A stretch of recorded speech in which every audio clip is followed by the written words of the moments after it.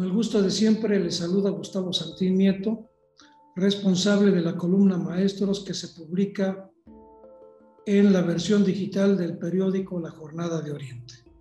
Esta semana revisaremos algunos datos que tienen que ver con la postura que adopta la CENTE en la que todavía a tres años del sexenio rechaza la persistencia de lo que ellos señalan es la mal llamada reforma educativa.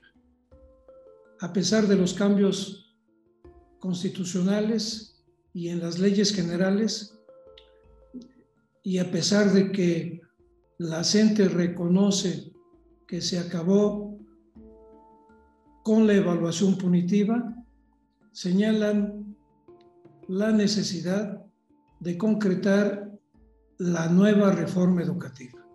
Sobre eso estaremos platicando, haciendo un corte a tres años del gobierno de la actual administración.